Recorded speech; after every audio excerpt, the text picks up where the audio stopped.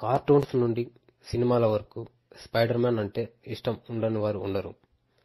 Spider man చేతి నుండి వచ్చే దారాలతో అతి సులభంగా ఎక్కడికైనా వెళ్తాడు. అలాగే మనం కూడా ఎగిరిపోతుంటే ఎలా ఉంటుందో ఊహించుకోండి. స్పైడర్ మ్యాన్ లాగానే మనం కూడా చేతికి ఒక పరికరాన్ని తగిలించుకొని దారాలు వదులుకుంటూ వెళ్ళే రోజులు దగ్గరలోనే ఉన్నాయంటున్నారు శాస్త్రవేత్తలు. సాలెపురుగు దారానికి ఒక ప్రత్యేకత ఉంది. ఇనుప తీగతో పోలిస్తే సాలెపురుగు దారం కూడా చాలా బలంగా ఉంటుంది. ఎటు పక్కకు అయినా వంగి సాగుతుంది. అందుకే దీనిని మనిషికి అనువుగా మార్చే ప్రయత్నాలు జరుగుతున్నాయి. యాభై సంవత్సరాల నుండి జరుగుతున్న పరిశోధనలు ఇప్పుడు పూర్తి దశకు చేరుకున్నాయి.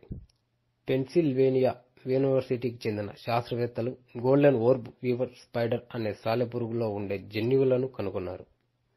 ఈ సాలెపురుగు జన్యు మార్ఫింగ్ చేయడం ద్వారా సాధ్యమవుతుందని శాస్త్రవేత్తలు తెలిపారు. సాలెపురుగు ఒక్కో సందర్భంలో ఒక విధంగా దారాన్ని వాడుతోందని గూడు అల్లేందుకు ఒక విధంగా గూడులో చిక్కుకున్న ఆహారాన్ని చుట్టేందుకు మరో విధంగా దారాన్ని వాడుతుందట. సాలెపురుగు దారం రహస్యం అంతా శాస్త్రవేత్తల చేతికి వచ్చేసింది. ఇక కృత్రిమ సాలెపురుగు దారాన్ని తయారు చేయడమే ఆలస్యం. సాలెపురుగు దారానికి సూక్ష్మజీవులను ఎదుర్కొనే సత్తా ఉంటుంది కాబట్టి గాయాలకు కుట్లు వేసేటప్పుడు ఎముకలు విరిగినప్పుడు చికిత్సలో ఈ దారాన్ని వాడుతారు.